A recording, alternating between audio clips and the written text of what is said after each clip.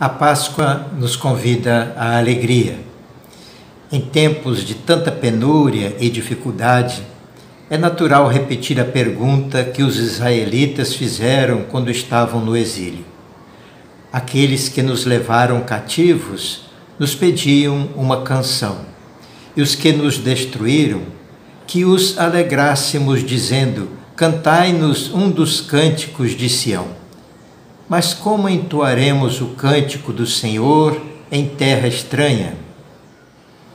Uma resposta que convence a essa pergunta nos dá o apóstolo Paulo, quando escreve na prisão: Alegrai-vos sempre no Senhor. Por que Paulo insiste tanto na alegria, mesmo estando preso?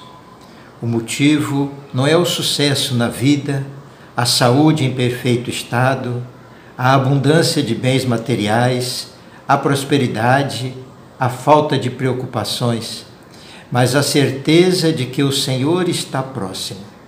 Esta certeza vem da experiência da morte e da ressurreição de Cristo. Por isso, é possível alegrar-se. Ainda que o anúncio da Páscoa não tire todo o sofrimento do mundo, alegremos-nos pois Cristo já inaugurou a nova vida. A vida nova do ressuscitado é a certeza da vitória sobre a dor, o sofrimento, a morte. Na celebração da Vigília Pascal, proclamamos a ressurreição com palavras que iluminam também o momento que vivemos em nosso país e no mundo. Tudo isto também deve ser iluminado pela ressurreição de Cristo. Eis as palavras do anúncio pascal. Esta noite lava todo crime, liberta o pecador dos seus grilhões, dissipa o ódio e dobra os poderosos, enche de luz e paz os corações.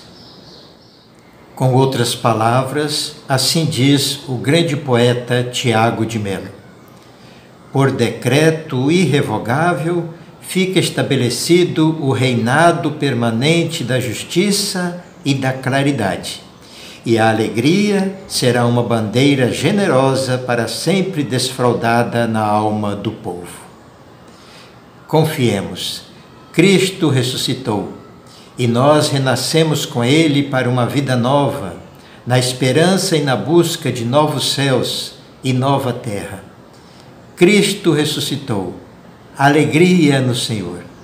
Feliz Páscoa.